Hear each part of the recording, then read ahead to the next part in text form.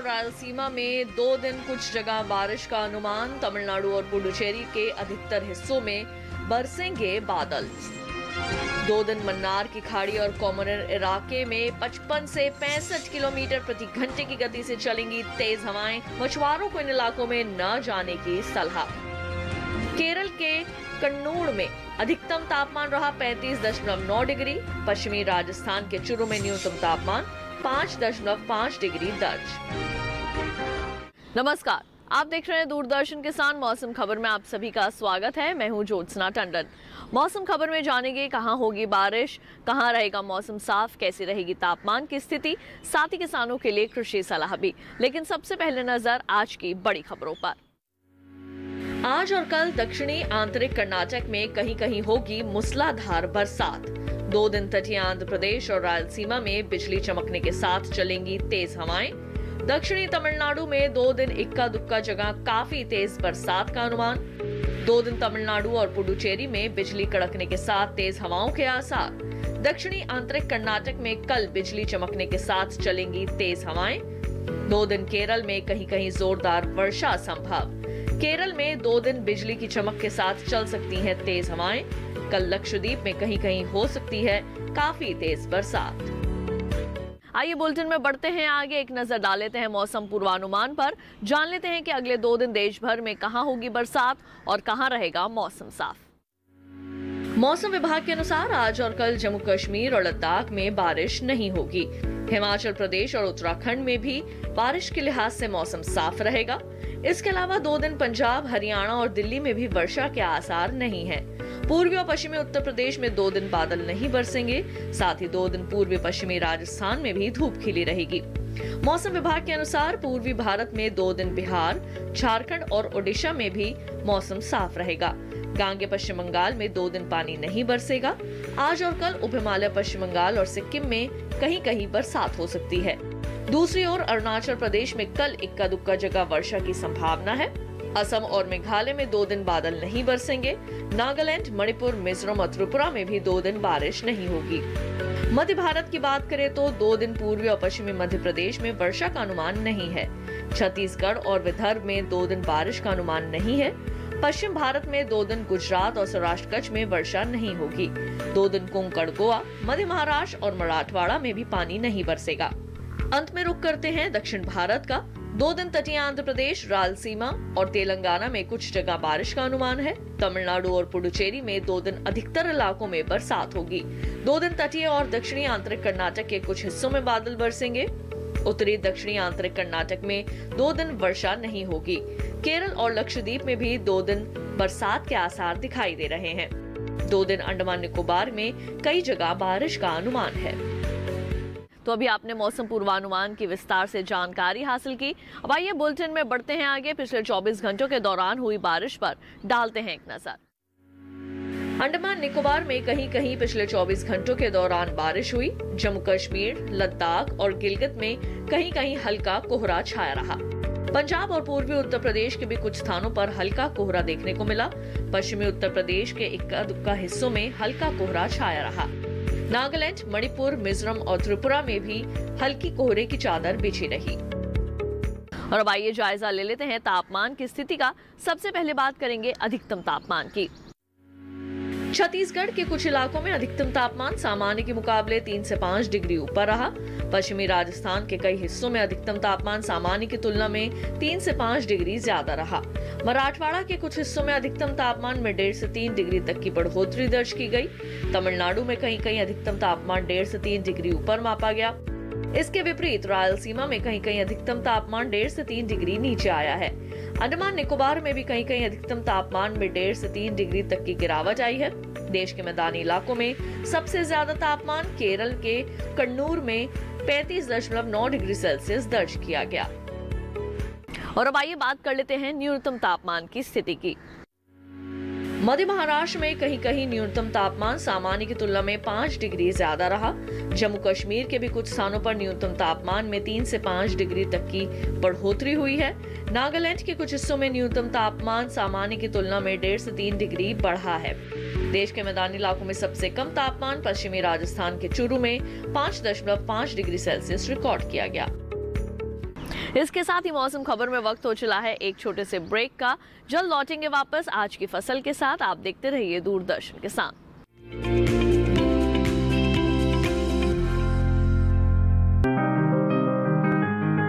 बीमारियों से कैसे बचेगी फ़सल? मवेशियों की मुश्किलों का क्या है हल? कहाँ से लाएँ बीज? कितनी लगेगी खाद? किसानों के हर फ़ोन का विशेषज्ञ देंगे जवाब। देखिए हेलो किसान लाइव सोमवार से शुक्रवार शाम छह बजे।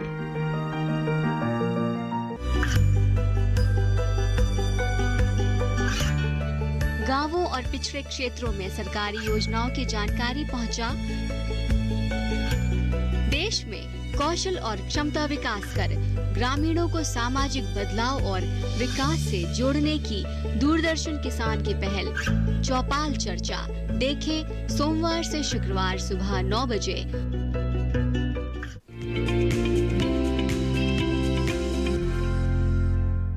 ब्रेक के बाद एक बार फिर आप सभी का स्वागत है मौसम खबर में।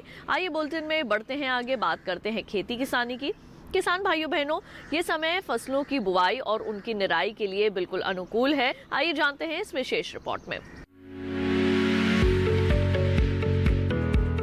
अलग अलग जलवायु और मिट्टी के आधार पर फ़सलों की बुआई करना उचित रहता है। अगर ओडिशा की बात करें तो पश्चिमी मध्य ओडिशा के मैदानी हिस्सों में इस समय किसान सूरजमुखी और सरसों की बुआई कर सकते हैं।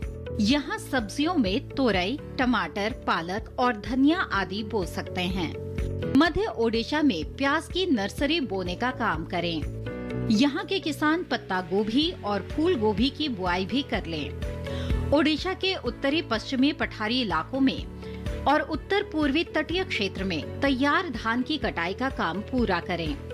ओडिशा के उत्तरी पश्चिमी पठारी इलाकों में गेहूँ, मूंग और मटर की बुआई का काम करें। यहाँ मसूर तिल और तुरई भी बो सकते हैं उधर पश्चिमी भारत के मध्य गुजरात में गेहूँ, चने और धनिये की बुआई जारी रखें। दक्षिणी गुजरात में किसान लोबिया चना मूंग और रबी की अरहर बो सकते हैं यहाँ के किसान रबी के चारे की बुआई और गोभी की रोपाई भी कर लें। उत्तरी गुजरात में सौंफ जीरे और सरसों की बुआई जारी रखें। यहाँ के किसान गेहूँ, चना धनिया लहसुन और प्याज की बुआई भी कर सकते हैं साथ ही महाराष्ट्र के कोंकण में तैयार धान और रागी की कटाई जल्दी पूरी कर लें ताकि बुआई के लिए दूसरी फ़सलों में देरी न हो यहाँ के किसान जल्द ही सरसों चना और सूरजमुखी की बुआई का काम भी पूरा कर लें। कोंकण में रबी की मूंगफली की बुआई पूरी करें। मध्य महाराष्ट्र में कपास को चुनने का काम जारी रखें। यहाँ के किसान चना गेहूँ, मक्का आदि रबी फ़सलों की बुआई पूरी करें। यहाँ गन्ने की बुआई के लिए अंतिम समय है। विदर्भ में रबी की फ़सलों में गेहूँ और अलसी की बुआई अभी करते रहें। आइए बढ़ते हैं आगे और अब बात करते हैं आज की फ़सल की। रबी सीज़न के दौरान तिलहनी फ़सलों में सरसों का खास स्थान है। सरसों को पानी की कम ज़रूरत होती है, यानी सीमित सिंचाई की दशा में भी ये अधिक लाभदायक है। उन्नत विधियाँ अपनाकर अधिक पैदावार ली जा सकती है। बुआई के समय 25 से 30 डिग्री तापमान उपयुक्त रहता है। इसके लिए दोमट मिट्टी सबसे उपयुक्त मानी जाती है। सरसों के खेत में पानी ठहरना नहीं चाहिए। खेतों से जल निकासी की उचित व्यवस्था होनी चाहिए। एक हेक्टेयर बुआई के लिए तीन से चार किलो बीज पर्याप्त होते हैं कतार से कतार के बीज की दूरी 30 से 45 सेंटीमीटर और पौधे से पौधे की दूरी 10 से 15 सेंटीमीटर रखें। बुआई के 15 से 20 दिन बाद घने पौधों को निकाल दें और दो पौधों के बीच 15 सेंटीमीटर की दूरी कर दें। खरपतवार नियंत्रण के लिए विशेषज्ञों की सलाह पर उचित दवाओं का छिड़काव करें सरसों की खेती के लिए गोबर की सड़ी हुई खाद की बुआई से पहले और अंतिम जुताई के समय खेत में मिला देना चाहिए, तथा सिंचित दशा में 120 किलोग्राम नाइट्रोजन 60 किलोग्राम फास्फोरस तथा 60 किलोग्राम पोटाश तत्व के रूप में प्रति हेक्टेयर की दर से प्रयोग करते हैं। नाइट्रोजन की आधी मात्रा, फास्फोरस तथा पोटाश की पूरी मात्रा बुआई से पहले अंतिम जुताई के समय खेत में मिला देनी चाहिए। सरसों में पहली सिंचाई फूल आने के समय और दूसरी फलियों में दाने भरते समय करनी चाहिए जाड़े के मौसम में अगर बारिश हो जाए तो दूसरी सिंचाई की भी ज़रूरत नहीं पड़ती बुआई से पहले मिट्टी की जाँच ज़रूर कराएँ। सरसों की फ़सल में जब 75 प्रतिशत फलियाँ सुनहरे रंग की हो जाए, तब फ़सल को काट कर सुखा कर या मड़ाई करके बीज अलग कर लेने चाहिए। सरसों के बीज को अच्छी तरह सुखाकर ही भंडारण करना चाहिए। अब आइए बुलेटिन में बढ़ते हैं आगे और आपको मौसम के अनुसार खेती की कुछ खास बातें बता दें। उप हिमालय, पश्चिम बंगाल में मक्का और सरसों की बुआई को जारी रखे किसान। पश्चिम बंगाल के किसान आलू, मटर और गोभी की बुआई करें। गांगे पश्चिम बंगाल में तैयार अमन धान की कटाई कर लें। यहाँ के किसान धान की कटाई के बाद सरसों की बुआई कर सकते हैं। गांगे पश्चिम बंगाल में मसूर की बुआई के लिए खेत तैयार करें। पश्चिम बंगाल में मिर्च, टमाटर और गोभी की रुपाई का समय है। पश्चिम बंगाल के जलोड़ इलाके में मटर और रबी प्याज बो सकते हैं किसान। पंजाब में भी पत्तेदार सब्जियों की बुआई और गोभी की रोपाई करें। यहाँ के किसान कंद वाली सब्जियों की बुआई कर सकते हैं।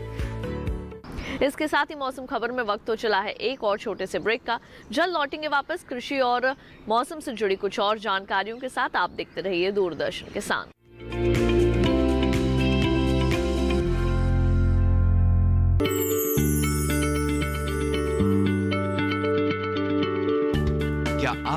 बीमारी से परेशान हैं? चाहते हैं डॉक्टर की सलाह। तो हम हैं आपके साथ। बताएँगे आपको जीने की राह। समस्याएँ आपकी, समाधान देश के मशहूर विशेषज्ञों के।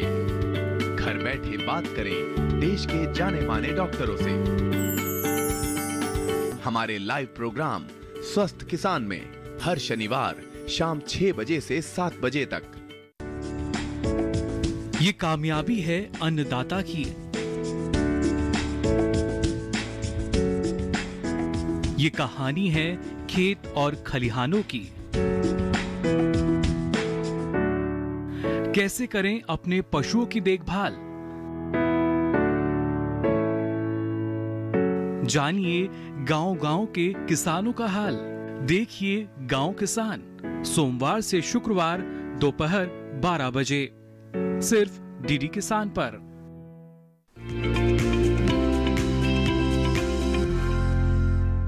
ब्रेक के बाद एक बार फिर आप सभी का स्वागत है मौसम खबर में। आइए बुलेटिन में बढ़ते हैं आगे। आपको मौसम के लिहाज से खेती की कुछ और विशेष बातें बता दें। पंजाब के किसान इन दिनों नींबू वर्गीय पौधों की रोपाई कर सकते हैं। आम, अमरूद, पपीता, बेर, लीची आदि के पौधों की रोपाई के लिए ये समय अनुकूल है। पंजाब में रबी की फ़सलों की बुआई जारी रखें। पंजाब के किसान जल्द ही गेहूँ और मटर की बुआई पूरी कर लें। पश्चिमी पंजाब में उन्नत किस्म के गेहूँ की बुआई कर सकते हैं।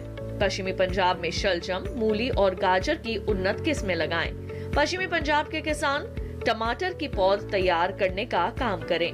पंजाब के मध्य भाग में भी बैंगन और टमाटर की नर्सरी तैयार करें। और अब आइए एक बार फिर से नज़र डाल लेते हैं मौसम की कुछ और अहम झलकियों पर। लक्षद्वीप में कल बिजली चमकने के साथ चलेंगी तेज हवाएँ। कल अंडमान निकोबार में कहीं कहीं तेज बारिश का अनुमान। अंडमान निकोबार में कल बिजली कड़कने के साथ तेज हवाओं के आसार। आज दक्षिण पश्चिम बंगाल की खाड़ी में 70 से 80 किलोमीटर प्रति घंटा रहेगी हवाओं की रफ्तार। दो दिन मन्नार की खाड़ी में 55 से पैंसठ किलोमीटर प्रति घंटा रहेगी हवाओं की गति। कोमोरन इलाके में दो दिन 55 से पैंसठ किलोमीटर प्रति घंटे की गति से चलेंगी तेज हवाएँ। दो दिन दक्षिणी तमिलनाडु और केरल तट पर 55 से पैंसठ किलोमीटर प्रति घंटा रहेगी हवाओं की रफ्तार। मछुआरों को इन इलाकों में न जाने की सलाह। और अब चलते चलते एक नज़र अगले चार दिनों के लिए नौ शहरों के तापमान पर।